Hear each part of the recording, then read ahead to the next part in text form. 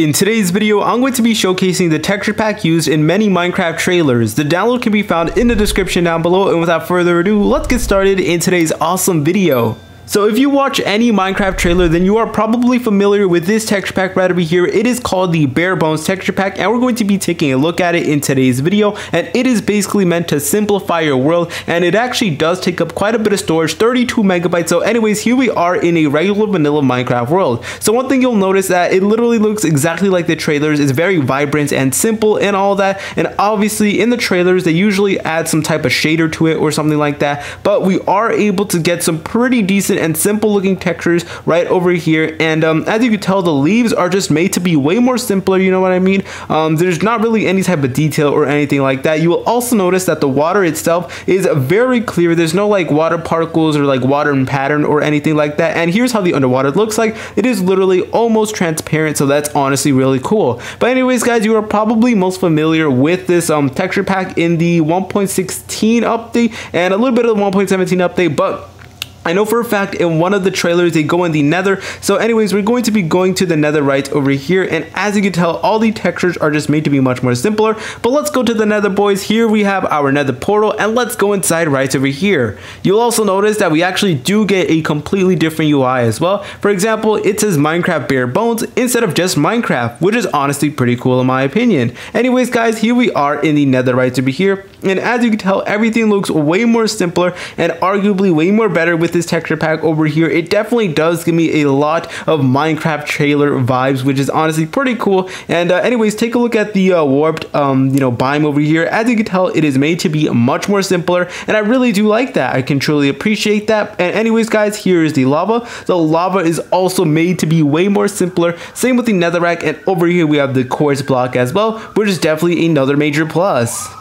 Alright boys, I'm now going to be going to the end with this texture pack over here and you probably already know the bare bones texture pack, you know, that was in the end and of course the uh, end update, the earlier end update, obviously, like I hope there's a new end update, but there was actually an actual like legit end update a couple years ago and I'm pretty sure they use this texture pack, but anyways guys, this is really cool. As you can tell, the end looks way more simpler and here's a hack to kill the ender dragon fast. Just do that and then bam, it's gonna kill the dragon and as you can tell, all the textures are made to be much more simpler. We have the dragon dead over there. And if you actually go near the end stone, you'll notice that it is made to be much more simpler. And I truly do like that. You know what I mean? It definitely adds a lot to the game. But anyways, guys, we're now going to see a end city.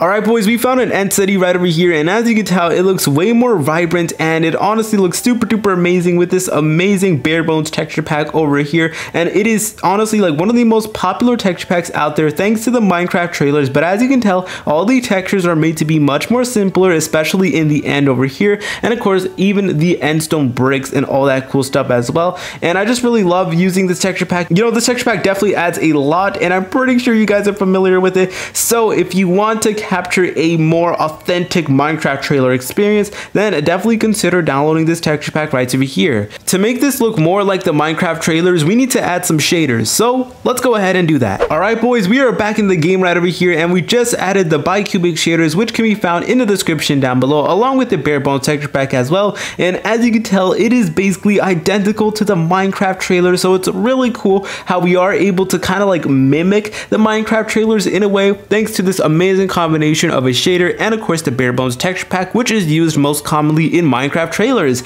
So this is honestly really cool. It looks super duper amazing. As you can tell the water is completely transformed and all that and obviously if we go underwater things look way more beautiful. As you can tell we even have a distortion effect as well and it definitely adds a lot to the bare bones texture and as you can tell it literally looks like something you would see from a Minecraft trailer and I know Minecraft trailers always get criticism for like being a little bit like misleading and how they're not as cool as the actual update, you know what I mean? But hopefully with this combination of texture packs, it does make, you know, Minecraft feel more cool to you and more like the trailers. And look at that, look at that. Just take a look at that sunset. It looks really cool. And once again, I'm just in love with the simplicity of this texture pack over here. Alright boys, here's how some of the other textures do look like with this texture pack on over here. As you can tell, the swords are made to be much more simpler and the food items are also made to be simpler as well. Next up, we got the tools. We also have the diamond armor, which is made to be incredibly simple simple. We also have the lava and the water over there. And um, if we go over here, you'll notice that we have a bunch of ores here. The diamond ore, the emerald, the gold, the lapis, the redstone over there looking absolutely amazing. And here is the nature section. It looks absolutely phenomenal. So I really do love this combination of the texture pack and a shader. But anyways, guys, that is pretty much it for today's video. Remember, the downloads to both these packs can be found in the description down below.